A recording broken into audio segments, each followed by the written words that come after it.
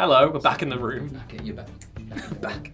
The next question: uh, Which movie scarred you as a child? Right, so I was a very cowardly and afraid child. You know, the world is scary when you're a kid. You know, there's so many different things that that'll go and freak you out. And I, I don't want to give away Joe's entry because Joe's going to be talking about Batman Returns later. I had a very bad event with Batman Returns when I was younger, where I loved Batman and Robin, and then uh, we went to the local video store, and Dave, it was Dave's Video Rentals in Liverpool. It was like, "Hey David," my dad was called David. He's like, "You showing your boy, showing your boy Batman Returns?" And I was like, it, I was like, "Oh," he's like, "Well, watch it." And then I watched Batman Returns, and it scared me. That's not what I'm going to talk about. What I'm here to talk about right now is a little old movie that recently turned 30. No, it didn't. It turned 25 or so. I can't remember. It's old. It recently had an anniversary. It's Who Framed Roger Rabbit, which is one of the greatest movies ever made.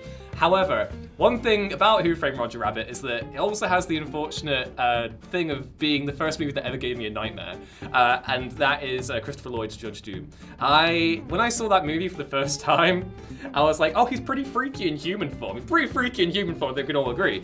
It's the bit at the end when he turns into Spring-Heeled Jack, like some kind of Victorian nightmare, and starts, you know, just the big scream, remember I killed your brother? And it's all just like this! Like, that is awful. And then he starts springing around, chasing poor Bob Hoskins down.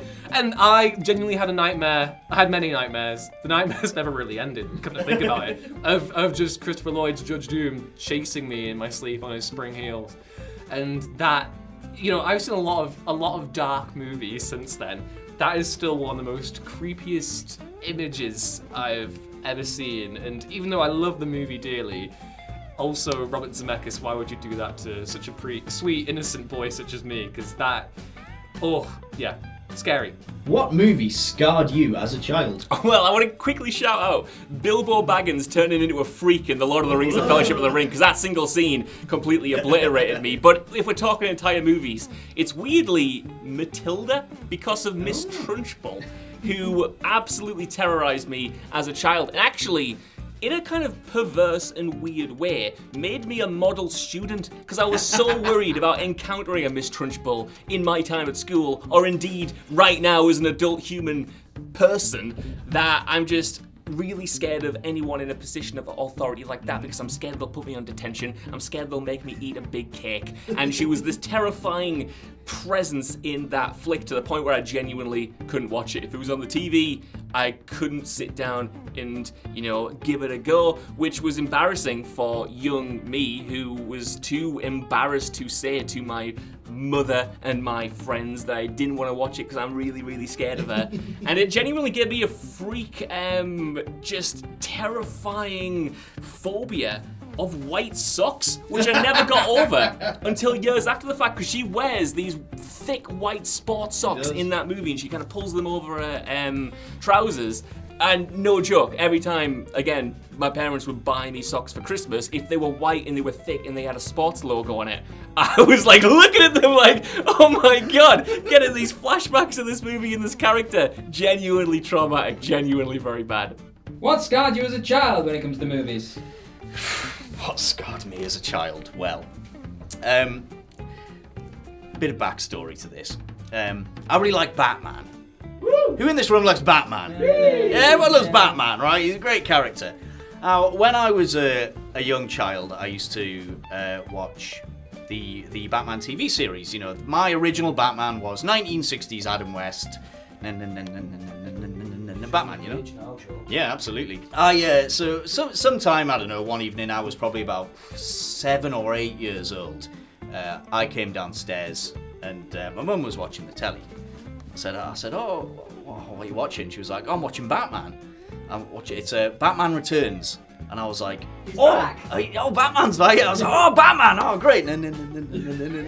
Batman, you know. Um, so sat down and watched this film. And um, if I remember the order of, of what I experienced, the first thing that I saw upon sitting down is Batman walking through an alley and this big goon comes at him. So Batman punches him and he, he doesn't even recoil at all. So Batman then straps a piece of dynamite to the guy's chest and like kicks him down a hole with a grin on his face. And so the guy just falls down a hole and explodes and he's dead. You know, whoa, okay, that was a bit, bit dark.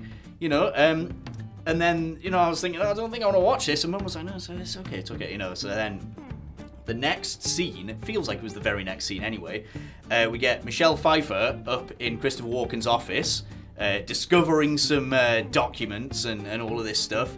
And then Christopher Walken comes in, he catches her, and he pushes her out of the window. You know, it's plate glass window. She falls to the ground screaming, dozens and dozens of stories, crashes into the ground to her death.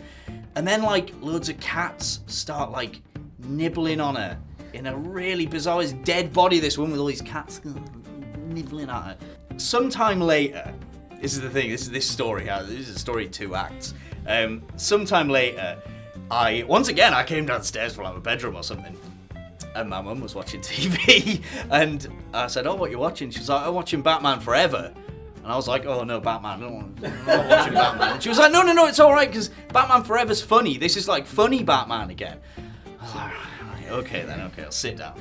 And you know, Batman Forever is a, a much more camp, colourful, fun film. The mise en scène is incredible. Um, but I sat down, and you know what? The the first thing that I saw was it was the bit where Harvey Dent gets acid thrown in his face and like puts the sheet of paper up his face and just loads of blood is like leaking through it and he's just bleeding all over the place and screaming because his face is burning off. This was supposed to be funny Batman. It's a man getting his face burned off with acid. I was like, no, I'm out. I'm out. What movie or which movie scarred you as a child? So, I've altered your question slightly. because I was racking my brain trying to think of what film scarred me as a child. And I think, quite honestly, if a film scarred me that much, I've erased it from my mind. So I was like, I, what film scarred me as a child? I don't know. But what I can tell you scarred me as a child is something on TV, which was the Doctor Who episode The Empty Child and the Doctor Dances. Gas mask zombies, children in gas masks, attacking people, just walking. They don't even run. It's just, "Are you my mummy?" And they just walk after you. Oh, traumatizing. Doctor Who was for children. You know, that a couple of weeks before, you had these fat green farty monsters that were really funny, and you're like, "This is cool." When you're like 10 years old, this is funny. I like this. And then all of a sudden, wham! Let's traumatize these children for everything we've got.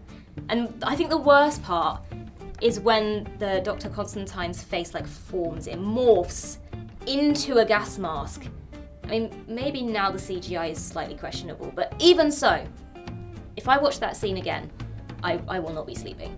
I can't look at gas masks the same anymore, even in a film where gas masks are, you know, it's a war film, they have to wear gas masks. I'm like, nope, don't want to look at them. They're scary. All because of Doctor Who. So that is uh, traumatizing. It's not a film, sorry. Which movie scarred you as a child? This is a weird one.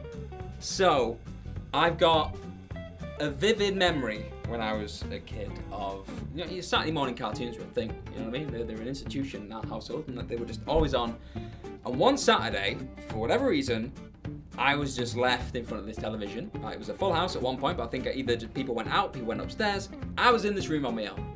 And a film was either it just come on or it was partway through and I didn't notice. I was probably playing with toys or whatever. I turned to the screen and Labyrinth was on. I didn't know what Labyrinth was at the time. And there were some puppets dancing and screaming and going. I just I don't know what I couldn't I couldn't tell you even what is happening in that you? film. I must have been about six, six or seven, and it's just scorched into my brain. I've never watched Labyrinth because of this, because it scared me so much. I went upstairs crying.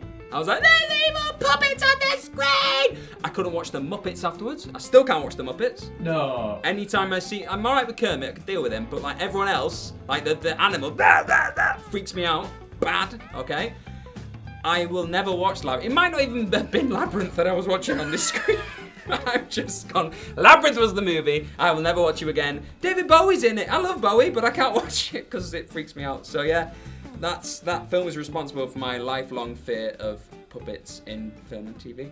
Like, kind of, the, the do you know what I mean? Like the puppets that are like a bit funky, kind of, not like animatronics, but like just you can tell someone's got the hand up the them.